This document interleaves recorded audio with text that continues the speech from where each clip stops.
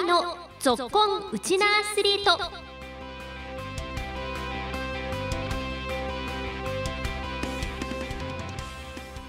こんにちは。ラジオ沖縄アナウンサーの杉原愛です。この番組は県内のスポーツ関連のイベントを取材してお伝えしたり学生スポーツからプロスポーツまで県内外で活躍するウチナアスリートを全力で応援しようという番組です。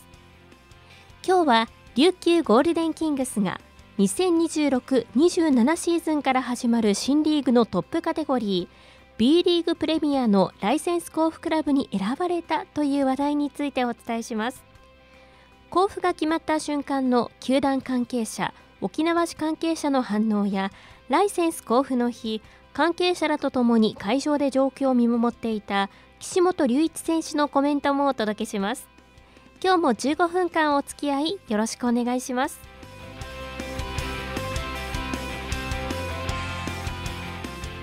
先月10月17日木曜日 B リーグは2026-27シーズンから始まる新リーグのトップカテゴリー B リーグプレミア B プレミアのライセンス交付クラブの対象となる22クラブを発表しました。この日に発表されたのは1次から3次審査における基準をクリアしたクラブが対象でした。1次審査をクリアするのが最もハードルが高く具体的な条件としてはホームアリーナのスペックを問うものや2期連続で平均入場者数が4000人以上であることかつ売上高が2期連続12億円以上のクラブが条件となっており一次審査を通過したのは5クラブのみでした。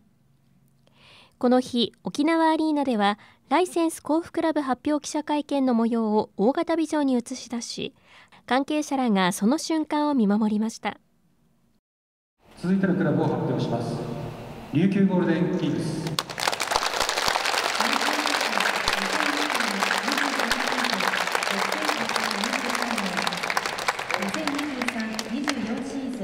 7746名売上高2期連続12億円以上。ホームアリーナ沖縄アリーナ。一次審査は以上の5クラブとなります。見事琉球ゴールデンキングスは B リーグプレミアへの参入が決まりました。発表の瞬間は大きな拍手も沸き起こっていましたね。琉球ゴールデンキングスの白木徹社長はライセンス交付クラブ発表記者会見の中でリーグ参入の喜びと関係者への感謝の思いを伝えました。先ほど、えー、島田チェアマンよりですね、えー、発表があった通り、えー、我々琉球ゴールデンキングスは、えー、B プレミアに、参入いたしました。ありがとうございます。えー、本当にあの厳しい基準を、えー、クリアしていかなければならなかったんですが先ほど、あの月山議長からお話をいただいた通り本当はですねナンバーワンでございまして。えー、1位通過ででそして、まあ、売り上げも、えー、それから観客動員数もそして、えー、この沖縄アリーナも、えー、間違いなく日本で、えー、ナンバーワンの、えー、アリーナで、えー、そして、えー、チームでございます、えー、これもひとえにですねやはり、えー、何よりも先ほどもお話しさせていただきましたがえー、沖縄市の多くの皆様方に、えー、小林市長はじめ平田副市長や、えー、多くの皆さんに、えー、この、えー、沖縄アリーナを作るためにですね本当に数多くのご尽力をいただいて、えー、この素晴らしいアリーナができ、えー、昨年は、ワールドカップも、開催できですねえー、そういった、まあ、全てが、まあ、そこから始まったのかなというふうに思っています。ただし、やはり、えー、沖縄の歴史は、えー、もっともっと遡りますと、えー、今日、えー、東会長も来ていただいてますけれどもやはりバスケットボールの、えー、歴史がしっかりと、えー、この沖縄にあることが、えー、全ての、えー、根源だったというふうに思っておりますし、えー、ここからなおですね、えー、もっともっと、えー、沖縄を中心にですねバスケットボールが盛り上がるように我々としては頑張っていかなければならないと思っております。沖縄もっと元気にというこの理念は創業当時からキングスが掲げてやってきたものでえー、本当に、まあ、あの元気にしているよというお話を聞くケースもあるんですが、まだまだそれは足りないと思っておりますので、我々はもっと地域貢献、そして、えー、地域にもっともっと力を、えー、加えていけるように、えー、チーム一同、そして、え社員、グループ一同頑張っていきたいと思っています。えー、そして何よりもですね、えー、今日一つだけ言いたかったのはあの社員の皆さんが本当に頑張ってくださって、えそして、え今日沖縄市の多くの方々にも、えーごさえー、ここに、えー、ごご指示いただきまして皆さんと共にですね、えこの喜びを、えご一緒に、え迎えられたことが本当にありがたく思っています、え最後にですけれども、え沖縄世界というこの目標を我々としては、え新たなビジョンで掲げております。えー、先ほどもお話があった通り NBA に続く第2のリーグに将来間違いなく、えー、B リーグがなっていくというふうに思っています、えー、その、えー、B リーグが、えー、発展する過程の中でも、えー、我々としては、えー、まずはアジアナンバーワンのチームにそして、えー、球団になっていくことを間違いなく私自身としてもやりきりたいと思ってますしチーム一同それに関しましては一つの大きな夢としてですね進んでいきたいと思ってます。今後ともまだまだ私たち力不足の部分もありますのでファンの皆さんそしてパートナーの皆様方そして沖縄市の皆様方県民や市民の皆様方にサポートいただき頑張ってまいりたいと思いますのでどうぞ今後ともよろしくお願いします。本日は誠にありがとうございます。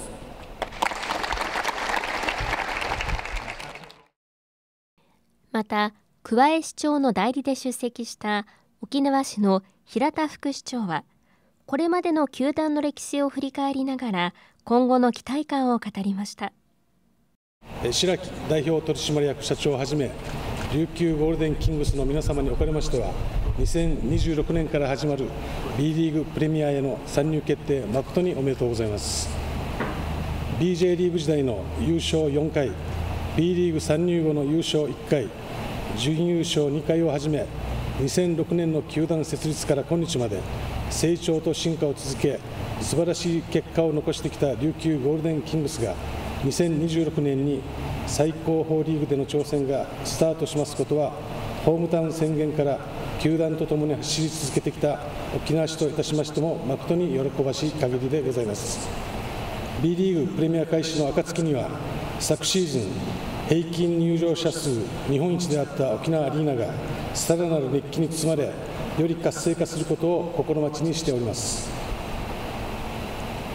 今年市政施行50周年を迎えた本市も琉球ゴールデンキングスとともに沖縄市をもっと元気にしてまいります。結びに新たなリーグへの変革にご尽力されました皆様並びに本日お集まりいただきました皆様のご健勝とご多幸を記念申し上げ祝辞といたします令和6年10月17日沖縄市長沖縄市市長職務代理者沖縄市副市長平田次に、えー B リーグプレミアム参入、本当に誠におめでとうございます。でこの沖縄市、沖縄県からまた、あのー、全員で応援していきたいと思います。本日は誠におめでとうございました。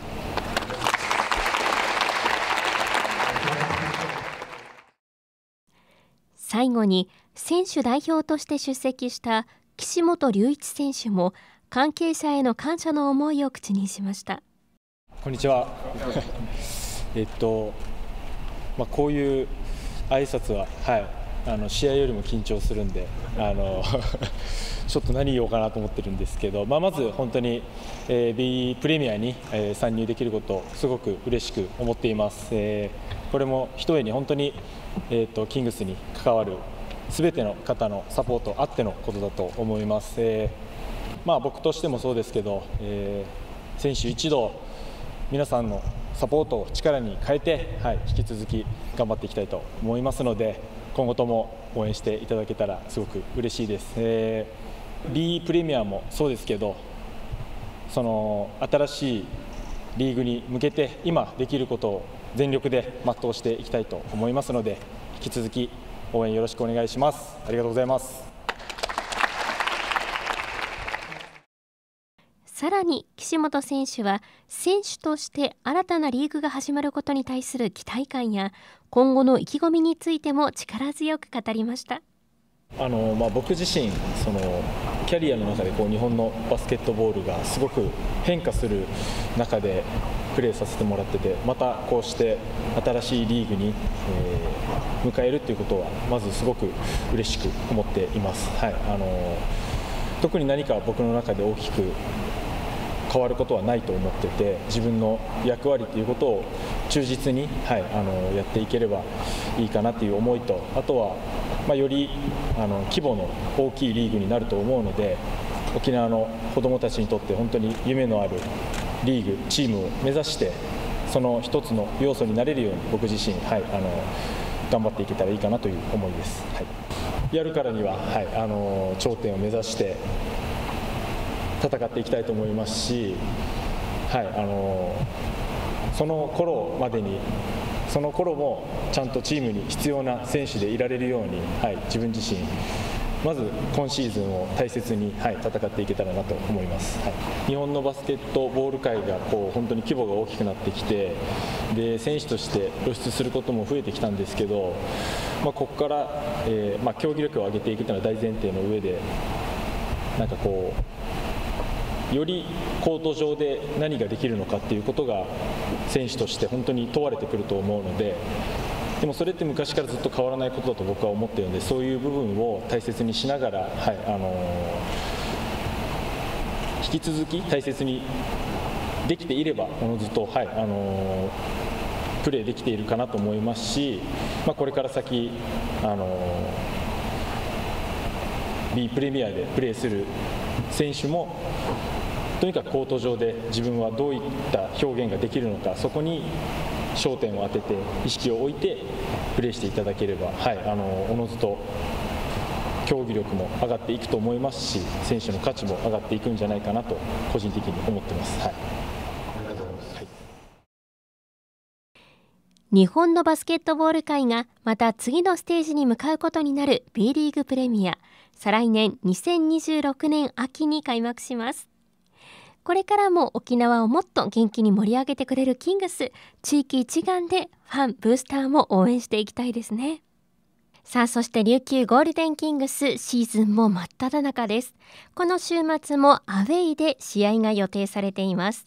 今日と明日は午後2時5分からアウェイで大阪エベッサと対戦です。そして次のホームゲームは今月6日水曜日午後7時35分ティップオフで京都ハンナリーズと対戦します。6日水曜日は今季初の水曜日平日ナイトゲームとなります。ラジオ沖縄では実況生中継も予定されておりますのでこちらもぜひお楽しみください。さあ今週もあっという間にお別れの時間が近づいてきました。この時間のご案内は杉原愛でした。